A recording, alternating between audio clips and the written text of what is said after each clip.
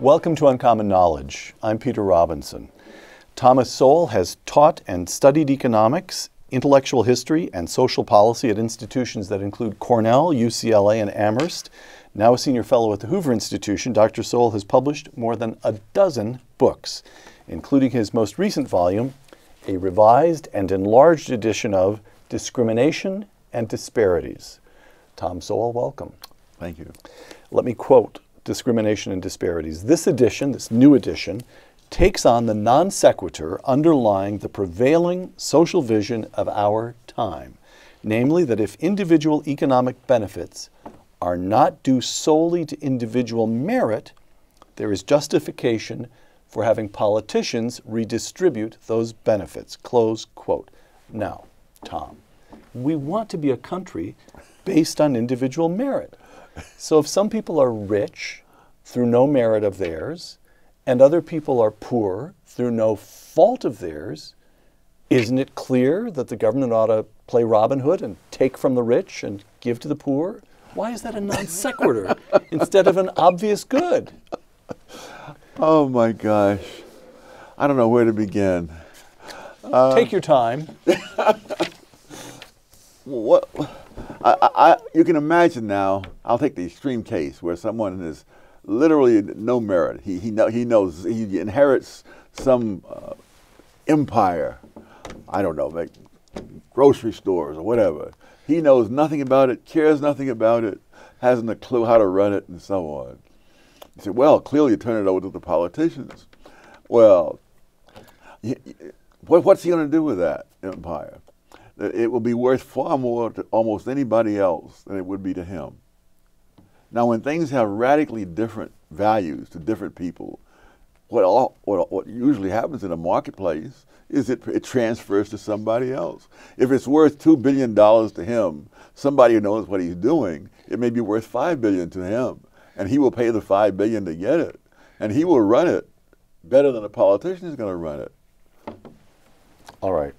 See, this is the trouble. Taping shows with you, you just talk sense and you talk it so concisely that we may as well go have lunch right now. All right. The argument, the basic argument, let's lay out the argument here in discrimination and disparities.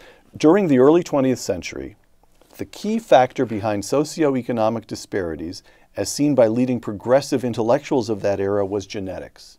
In other words, some people got ahead and some people stayed behind mm-hmm. for reasons of race. Yes. The racist argument. By the late 20th century, to continue the quotation, discrimination, insidious, unfair discrimination had become the prevailing explanation. All right, so let's take each of those in turn. The genetic or racist explanation. You write that by the middle of the 20th century, even a, even a leading proponent of the influence of genetic factors, such as the famous, infamous, I suppose to many people, Arthur Jensen mm. of the University of California, Berkeley, up the road here, rejected the idea of an IQ ceiling for some groups. Would you explain what that means?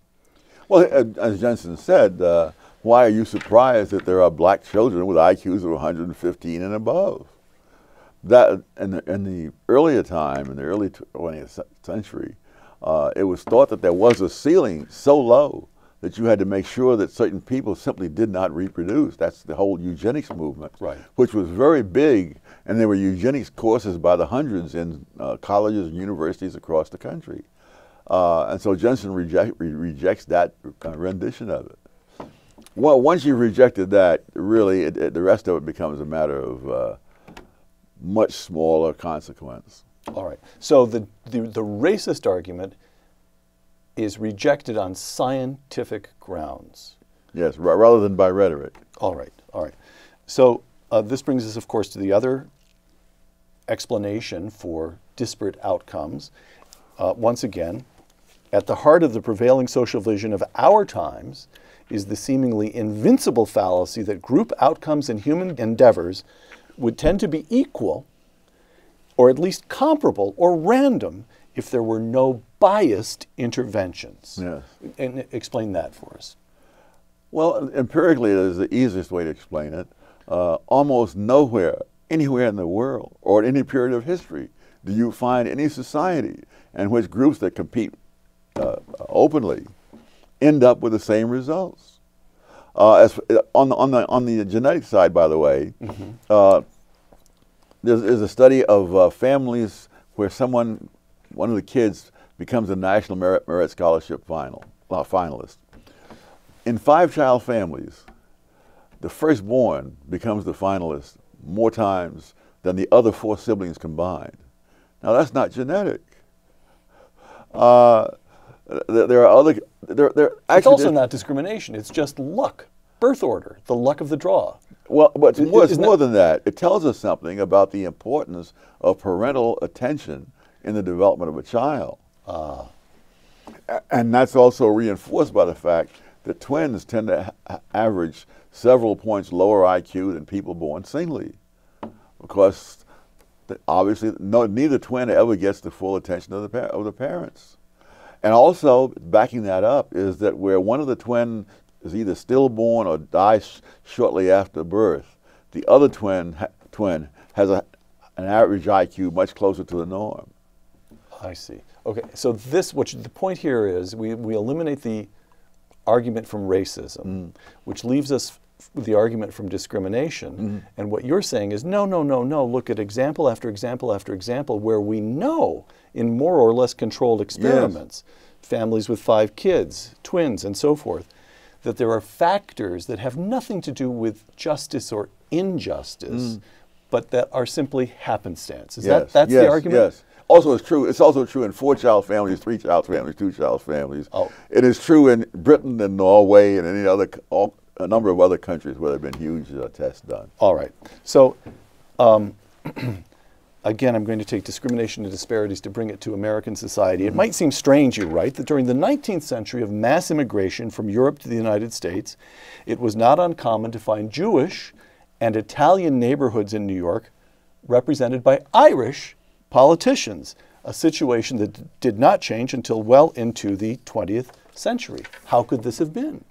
Because if you look at the history of the three groups, it's clear that the Irish had a lot more political uh, experience in Europe before, before any of them ever set foot on American soil. I mean, it, it's really, an, when you think of how many factors uh, there are at work, it's incredible to think that they're going to work out the same for, for, for, for almost any group uh, defined anyway. Got it. The other thing, it- it's so frustrating. I can c- I can come up with umpteen different examples of this, this uh, disparities in various situations, including situations where it is not possible for it to be either discrimination or uh, or, or genetics. People on the other side cannot give you one example. You can read reams of paper by advocates of social justice and not, find one example anywhere in the world. There are people who've done international studies. Braudel, I quote, the, French, The French uh, his- historian. historian. He said, in no society has all, all parts of the uh, uh, population had the same outcomes. All right. Um, you note also, by the way, that even within uh, this, I've found striking, even within socioeconomic bands or strata, that is, people who or ethnic groups that are actually doing pretty well, uh, there are differences that can be striking. And uh, to quote you again, Jews have been especially well represented in retailing, finance, and garment production, but by no means equally well, well represented in heavy industries su- such as the production of steel or automobiles Yes. And it has nothing to do not we're not talking about relative disadvantage here they rose to success in different fields Yes. from i don't know uh, andrew carnegie i guess is, an, is a scot who's doing steel and ford is the ford and the dodge brothers are, Yes. are, are what northern european stock who Yes. handle automobiles and it just worked out that way Yes. for no invidious reason Yes. all right. You see, if you just say yes, well, of course, if I if I just quote the book to you, you're going to say yes. Which is what you should do all the time. All right. To continue here to lay out your argument, again, I'm going to quote you, but I'm going to get more than a yes out of you, Tom, on this this one. Statistical underrepresentation or overrepresentation of various groups is not peculiar to the United States or to our times. For centuries, there have been countries where most members of various professions and most business owners in whole industries have been members of some subordinate minority. All right, you present a couple of examples. Let's take a couple of examples. The overseas Chinese in Southeast Asia. oh, yes. Tell us about them. Oh my gosh, the, uh, the, the, some people call them the, uh, the Jews of Southeast Asia. Uh, considering the numbers involved, you might call the Jews the Chinese of Eastern Europe. Uh, but uh, there, are, there are country after country where over half of the retail outlets are by, by people who are Chinese. I mean, Malaysia, uh, Indonesia, Thailand, whatnot. There are countries after countries where most of the billionaires are Chinese. Outside China. Out, oh, outside China. And this, one of the other things, too, is this, this ties in to some extent with a uh, genetic thing. As of 1994, there were 57 million overseas Chinese and 1 billion people in China. The, over, the 57 million produce as much wealth as the billion people in China. All right. Uh, Jews in Eastern Europe, mm -hmm. as another example of yeah. a subordinate group. Yes. Tell us about them. It's very, very uh, common for, for retailing in many parts of Eastern Europe to be largely in the hands of Jews. Uh, greatly overrepresented in uh, universities. Uh, by the late 19th century, uh, one third the uh, people at the University of Vienna were Jews, and they were usually the more successful students. Right. Indians in East Africa. Oh my gosh. And here, here you see something that ties in with a desire to confiscate the wealth of the wealthy. They did that in Uganda. The people from uh, India and Pakistan uh, dominated uh, uh modern industry in that, in that country. Eventually, of course, the politicians uh, decided that they, they should be uh, expropriated. They were expropriated. They were sent out, uh, not allowed to take any wealth with them of any significance. And all the stuff that was left there, their businesses and so forth, went, went to the Ugandan. The Ugandan economy collapsed. These people arrived uh, uh, destitute, mostly in England. Uh, and within a, a decade, they were on their way to prosperity again. The same thing with the Cubans uh, here, that when Castro took over. Castro takes over in 1959, a million Cubans leave with almost nothing. Yes, and he left behind all the wealth they had in Cuba. You fast forward a half a century, and the uh, Cuban American businesses in the United States had a revenue that was larger than the revenue of the entire nation of Cuba. Even though, and, and they weren't, in, in the United States, they weren't driving 1950s cars in the 21st century. All right. All right. So the underlying assumption, just to close up the argument here, the underlying assumption of the social vision, the vision of social justice, that absent discrimination, roughly equal outcomes will prevail, is refuted by every page of recorded history. Yeah. All right. Jews in Eastern Europe, overseas Chinese in Southeast Asia, they rise in spite of discrimination. Yes. All right. Okay. And they rise better than the people who are discriminating against them. All right. Um, we tend to think, I believe, of this new social vision, social justice, as something completely contemporary, but you write that it has been prevalent for half a century. You also argue not merely that it is mistaken, mm. but that it has done positive harm. Yes. Discrimination and disparities. With the prevailing social vision came a more non judgmental approach to behavior, as well as multiculturalism, a de emphasis on policing and punishments, and an emphasis on demographically based fair shares for all. So, what you're talking about here is not explicitly governmental action or mm -hmm. government programs, but the way people begin thinking about society.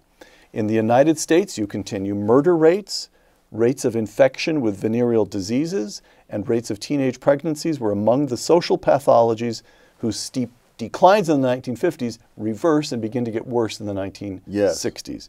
Okay. I, ideas alone, it's what people, people carry in their heads. But the ideas were, were, were carried out in policies. Uh, and the classic place were in public housing projects. Uh, people today think of the public housing projects as really uh, just a bedlam and a violence and so forth. Drug dens and so forth. Yeah. I remember in the 1940s, one of, one of our relatives was admitted to a public housing project in New York, and we were so proud because back in those days, you got admitted because even though you were just a working person, you had a good record, you, you, you, you, you had, a, you had a steady job. Uh, women with, with, with, uh, with uh, fatherless children were not admitted, and so on. And so it was not just that the, that the place was good, it was that it, it was an honor that he'd passed these uh, tests to get, to get into these places. You tell a tale of two blackouts that, Ah. illustrate, that illustrate what's taking place here. The first blackout takes place in November, November 1965.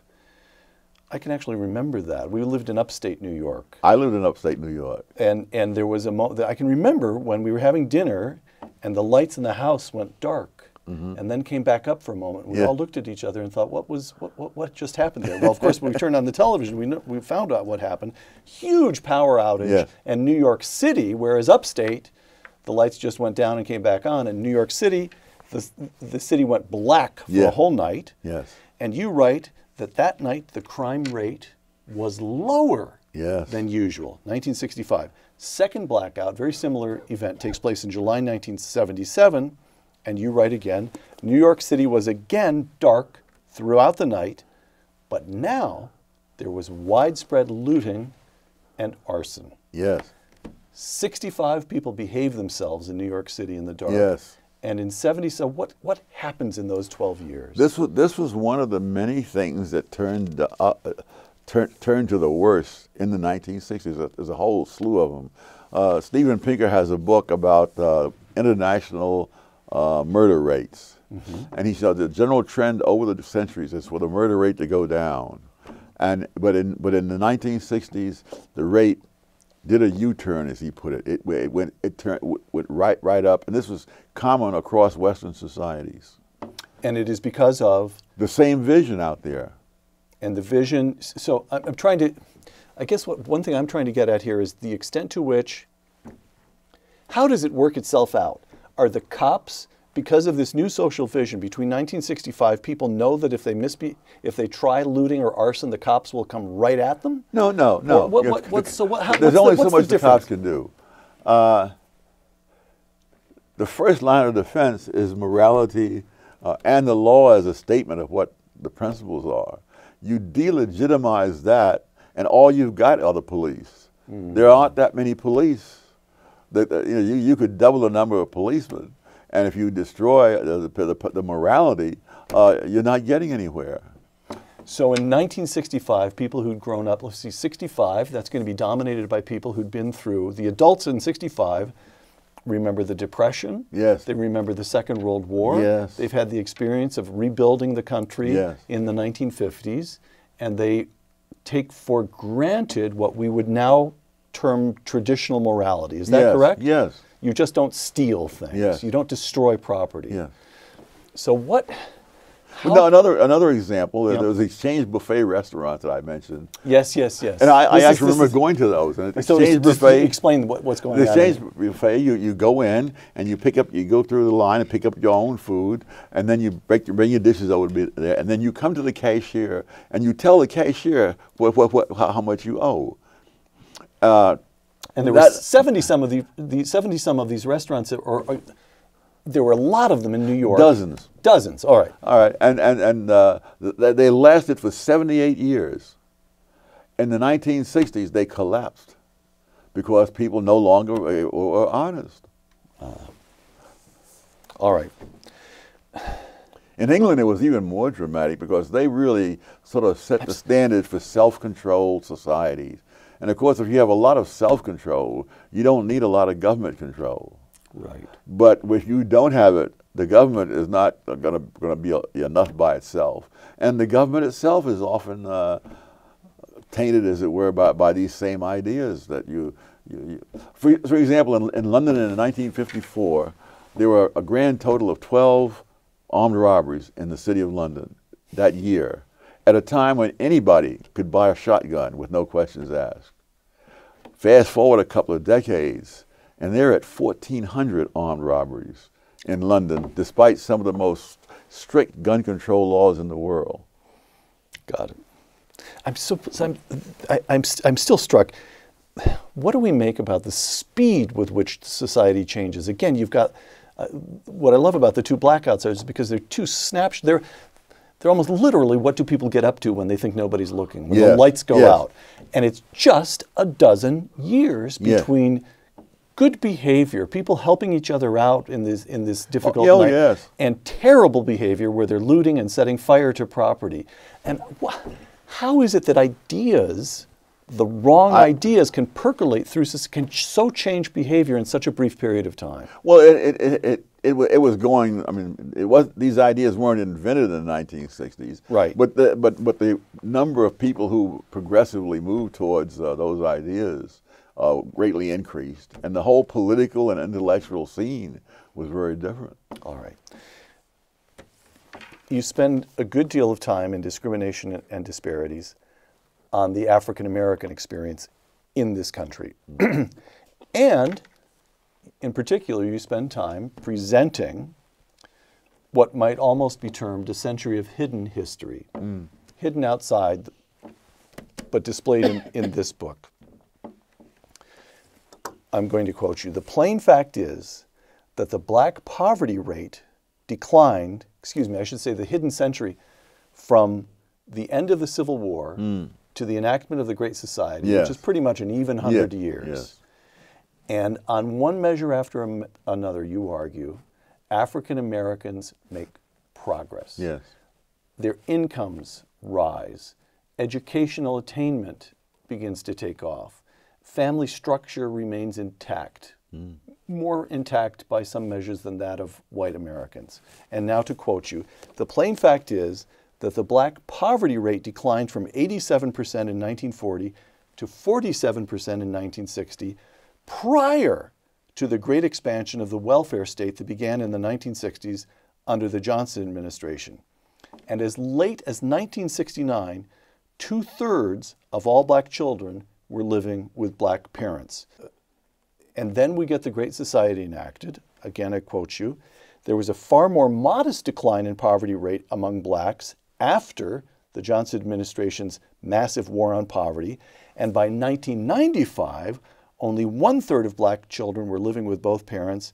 And among black families in poverty, 85% of the children had no father present Yes. a century of intact African American families mm-hmm.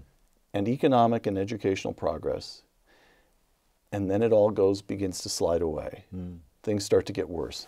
What happened?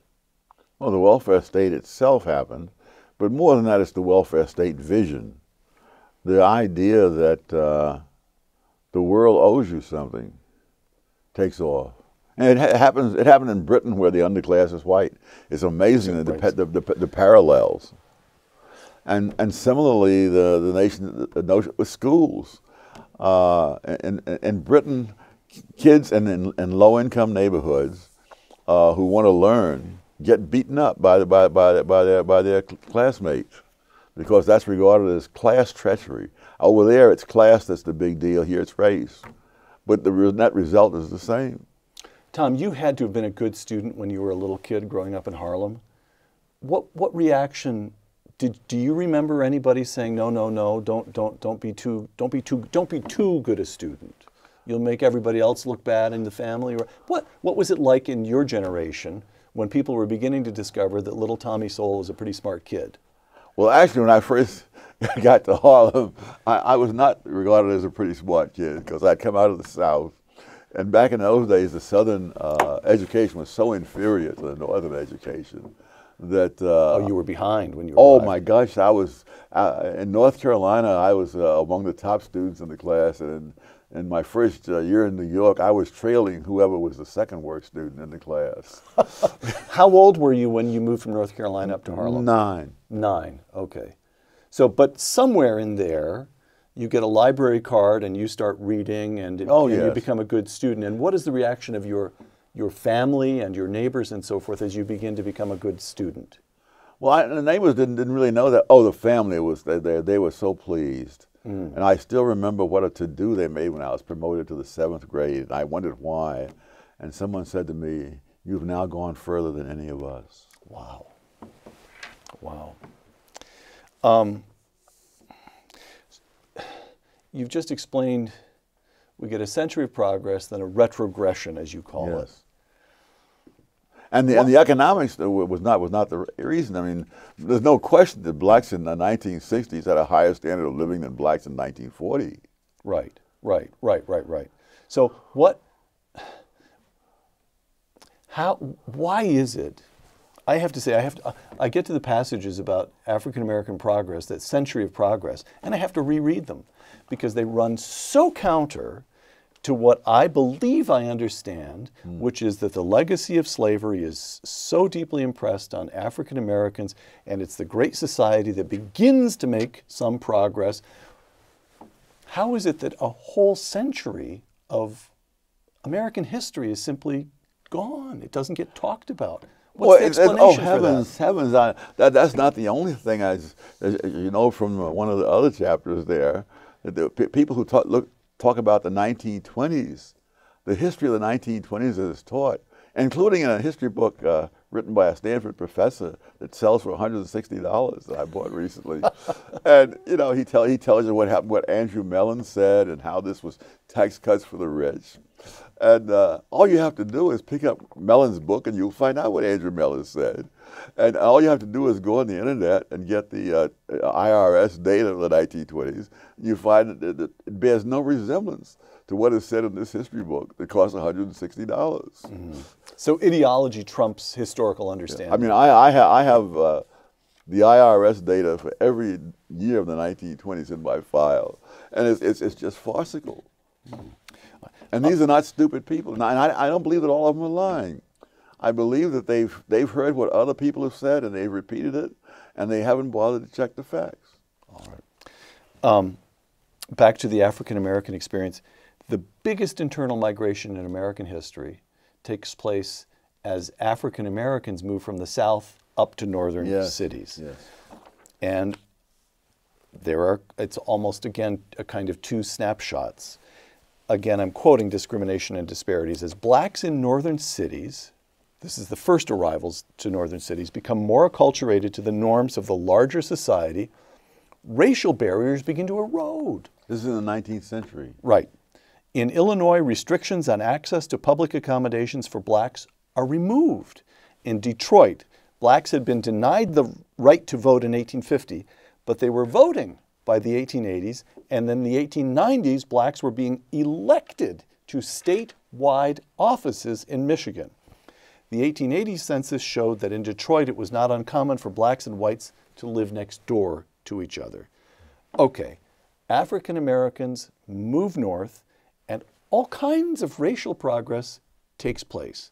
But then, and again I quote you, however, a major, major retrogression set in later in northern cities with the arrival of large masses of black migrants from the south in the early 20th century. So describe that retrogression. What begins to go wrong? Well, in Washington, D.C., for example, uh, blacks had been able to go to r- various restaurants, uh, theaters, and, and so on uh, prior to the mass migrations that began in the early 20th century.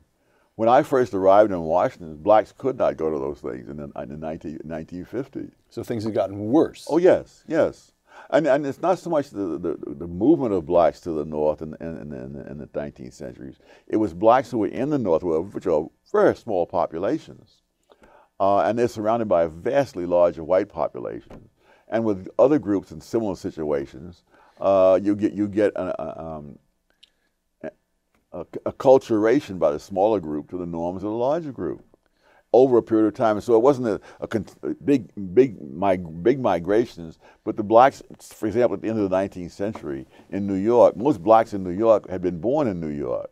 By the at the end of the 19th century. Yes. Right, right, right. And so you, had- you had a very different population than you had when you have massive numbers of people. All right. You and you write neither the era of progress in race relations nor the era of retrogression were simply inexplicable mood swings among whites. The behavior of blacks themselves had changed. Yes. Now explain that. Well, the South is a different culture. And, and, and I, again, to some extent, I was an example of that, that, I, that my education was just not the same as the education of kids who'd been in Harlem all along. So it took me, you know, a year or two to catch up. I see. I see. Okay. So, all right. I'm trying to think this through. That if the I mean, for example, Yeah. I, I, a story that I've told so many times, uh, that, uh, that, that my uh, family found a kid, a black kid in Harlem who was very uh, uh, well educated and so forth. And they made it a point to, to, that he should he should meet me and show me the ropes. And he took me uh, to a public library at the age of nine. I had no idea what a public library was. And it, was only with great uh, reluctance that was I persuaded to take out a library card and borrow a couple of books. But of course, that was a turning point. Got it. Got it. Social justice today. So, social justice, the idea of correcting for unequal outcomes, in particular, redistributing wealth from the rich to the poor. So you've already argued, we've already discussed this, that the very notion is ahistorical mm. And misguided, but you argue something more. There is a crucial question as to whether the redistribution of income of wealth can actually be done in any comprehensive and sustainable sense. Close quote. What do you mean? Well, I've used the example before of the. We need, to, uh, send a, we need to send a telegram to Alexandria Ocasio Cortez here. Oh, I, I, think it would be a vast waste of money. but uh, I've used the example so far of the uh, of the Cubans, you know, right. and of the uh, East Asians, but they're all over the places. In the, in the 15th uh, century, in the end of the 15th century, Spain decided to expel all Jews, and as often happens in these cases, they're not allowed to take any wealth with them. And so they, they go to various places, including the Netherlands. Uh, and, in, and, over time, they again rise to uh, uh pr prosperity in the Netherlands, helping to increase the Netherlands economy. The Huguenots in uh, uh, France were uh, being persecuted. They flee to England and Switzerland, and they take their skills with them. Now, prior to that time, France was big. There, there, were, there was no um, watch industry in England prior to the arrival of the Huguenots. So now the, the British could buy their uh, uh, watches from London instead of from France. And moreover, the uh, London watchmakers could compete in the international market with the French watchmakers. And in Switzerland, this is what helped Switzerland to become and remain to this day the dominant watchmaking country in the world. I mean, you, you, you can't confiscate the source of, of, of, the, of, their wealth. You can confiscate, and, and I did, although I didn't go into it in this book, uh, this is true of people who uh, want, want to do this on a local community level. I mean, you know, Detroit was once a prosperous place. They followed policies that drove the prosperous people out. And, the pros- and then, of course, they had, they had to leave all their businesses and so forth in Detroit. That was of no use without the people who knew how to operate it. Mm. Those people, I'm sure, have done much better. Detroit has never fully recovered from that. Mm. So the idea here is you can you can confiscate wealth. It's already existing. You can confiscate but it wears material out. goods. Yes, yes, yes. But what point is it? All right. So again, I, am quoting, going to quote the book once again. Physical wealth is a product of human capital, the knowledge, skills, talents, and other qualities that exist inside the heads of people where it cannot be confiscated. Yes. Closed quote. So the central question, you're going correct me if I get this wrong because I have a feeling you're going to slap me around for what I'm about to say. The central question, not just of economic growth, but of social justice, mm. is not the distribution of wealth. It's access to human capital. It's access to education is really what it comes down to. Human capital right? goes, yeah, it encompasses education, encompasses but, it's not, it. but it's not limited to that. So because it's also the store, so, so where you have, where you have social pathology, it's very hard. I'm just making this up to see how you respond to it. It's very hard, for example, figure that I quoted earlier, where uh, African American kids living in poverty, 85% of them grow up with only one parent oh, yes. present. That makes it harder for those no, kids no two ways about it. to acquire human capital. So, so access to education, I'm, I'm fumbling here, yes. access to education, somehow, is it, is it the role of government to foster certain kinds of social stability or social skills? Well, you, you, you, all, all you can do, you can't give anybody an education. You can offer them an education. You can show them where the public library is. That, that's right. But that, but that, but that, that's that's it. Okay. Um, all right. And, uh, and something else. Uh, So social justice is an actual impediment to acquiring human capital, because if you're, what it tells you is that the reason you have less is because people have malevolently kept you from, from having the, uh, access to, to, to, to all the good things in life. And, that, and if, if that's the case, why in the world should you knock yourself out, learn a whole new culture, develop whole sets of skills and so forth, sacrificed in the present for the future when it's going to mean nothing? One of, two of the stories I've heard that really pains me greatly, mm-hmm. a couple of young uh, black guys, there's two different guys and two different sets of stories, uh, expressed a desire to be, become a pilot.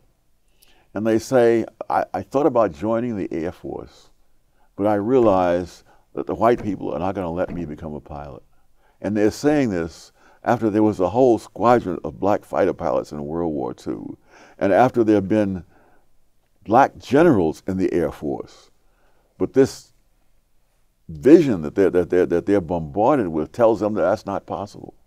That something that's already happened is not possible. So, so, so the social, the notion that you've been wrong. Yes has the effect of of what of of of encouraging ma, ma, ma, of encouraging passivity. No, or well, direct, no, resent, re, resentment, resentment, but, but not but not but not because social mobility is not some easy thing. I don't know if you read uh, the book about the uh, hillbilly elegy. Oh yes, yes, this, yes. J.D. Vance. J.D. yes, Vance, right. And he, right. he go, what, what a what a trauma it is for him. It was hard to, to, to come out of his background and, and achieve something in the world. Why in the world would you put yourself through that? If you thought that at the end of it all, they're going to say, "No, we're not going to let you fly any of our planes, damn it." Right, right. And also, if so, if you think you've been done, if you think you've been wronged, your recourse might also be more likely to politics, to try to to try to redress this whole redistribution. Yes. Oh yeah. Rather than hit the books, acquire the skills, get the well, job. And, and, and, but the other thing too, I, one of the my favorite uh, uh, statistic in there is that uh, the poverty rate among blacks as a whole is twenty two percent. Mm-hmm. Among whites as a whole is 11%. And among black married couples is 7.5%. So, so and it's been and, and black married couples have never had a, a poverty rate as high as 10% in any year since 1994. All right. So to the to the to the cry, what is to be done? Tom Sowell answers. It's been done. Get an education, stay mar- get married, have kids after you get married. That's that's sort of the answer, right? Well, yes, and the things that work for other people work, work, tend, tend to work pretty generally. all right, all right. Reparations. Ah. I knew you'd like this one. New York Times columnist David Brooks, in a column last month entitled The Case for Reparations, quote, we are at a moment of make or break racial reckoning. We are a nation coming apart at the seams, a nation in which each tribe has its own narrative, and the narratives are generally resentment narratives. The need now is to consolidate all the different narratives and make them reconciliation and possibility narratives. Reparations are a drastic policy and hard to execute. But the very act of talking about and designing them, reparations policies, heals a wound. Oh, it's one of many reasons I don't read David Brooks. But go ahead. Heals a wound and, and opens a new story. Close quote. You, you can imagine somebody whose parents, great grandparents, came here in the 18, 1880s after the Civil War, being asked to give reparations to people. Uh, yeah, uh, even in the even in the antebellum South, most whites did not have slaves. The cost of one male adult slave was more than the average white person earned all year. So they weren't all living in terror with, the, with, with, their plantations and all the rest right. of it. Uh, it's insane. The other thing, I, I have a slight um, sidebar in there on the history of slavery. Mm-hmm. The history of slavery, slavery existed all over the world for thousands of years among all sorts of people, as far back as the history of the human species goes. It's one of many evils that the left tries to localize, when, when in fact it is, a, it is a universal evil. So, is this too strong a statement that it is what is distinctive about the United States is not that it countenanced slavery in the 18th and 19th centuries, but that it has taken such efforts to overcome the legacy of slavery since. Is No, that a- fair? no, uh, that's, that's part of it. But mo- more than that, as much as slavery is repudiated around the world today, prior to the 18th century, I know of no serious effort to abolish the institution anywhere. Anywhere. Anywhere. Not in Africa, not in not Oh, in the Arabian Not world. in Africa in the 21st century. Uh, when Adam Smith wrote in 1776 that the only place in the world where slavery had been abolished completely was Western Europe. Uh, and so this was, As late as as late as the as late as the year this country was founded. yes. And so the idea that this is something that the United States had that nobody else had, or, or the, the other other countries that didn't have, uh, it's been estimated that there are more slaves in India than in the entire Western Hemisphere. And that's quite, uh, and that's before and after Columbus uh, got here. Right. Um, last questions, Tom. A statistic. In 2015, this is the most recent year I could find. In 2015, black households at the 20th and 40th percentiles of household income earned an average of 55% as much as white households at those same percentiles, 20th and 40th. And that figure from 19, I beg your pardon, that figure from 2015 is exactly the same as the figure in 1967. So you can imagine people of goodwill looking at that and saying, only 55% as much as white households, and it hasn't changed since 1967. Dr. Sowell, I grant all of these arguments, but even at that, something must be done. And Tom Sowell replies, How? One way would be to uh, get rid of the welfare state. But also, those kind of numbers are very That's not what they have in mind, I don't think. Perhaps not. Uh, w- one of the problems with those kind of numbers, which I go into in a different chapter on numbers, is that uh, household and family income statistics have a lot of problems with them, and they don't they don't reflect, for example, uh, in-kind uh, transfers. Right. Uh, and and the in-kind transfer is not From, only the gov- from government, welfare payments. yeah, re- re- that sort of thing. But more than that, the in-kind transfers are among the reasons that people don't have to earn more money. Right. Okay. Once again, discrimination and disparities. The most spectacularly successful political doctrine in the 20th century was Marxism. Yet, if the wealth of rich capitalists came from the exploitation of poor workers, then we might expect to find that where there are larger concentrations of rich capitalists, we would find correspondingly larger concentrations of poverty. The facts point in the opposite direction. Explain what you mean by this.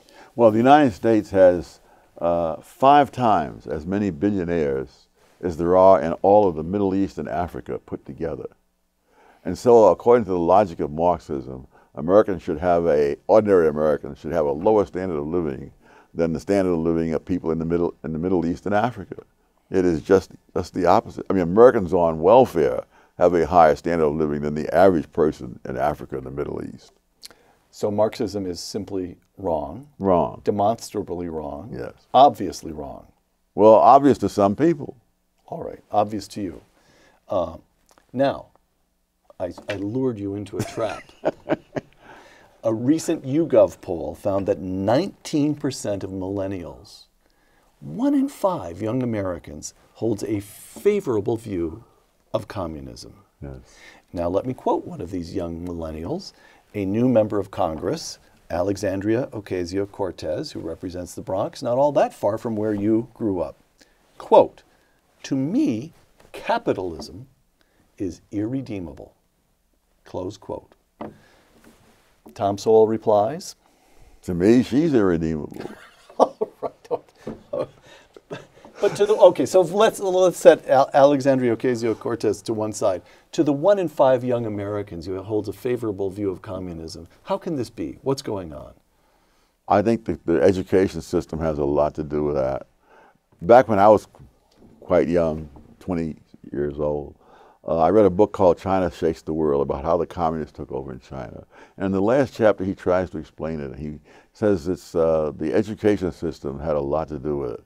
Now, at the time, it struck, struck me as a very odd uh, explanation. Now that I've had a half a century or so in the American education system, it doesn't strike me as odd at all. All right. Tom, would you close by reading a passage from your book, from this new edition of Discrimination and Disparities? Uh, the last Western nation to end slavery, Brazil, did so in 1888, and the first totalitarian dictatorship arose in Russia in 1917.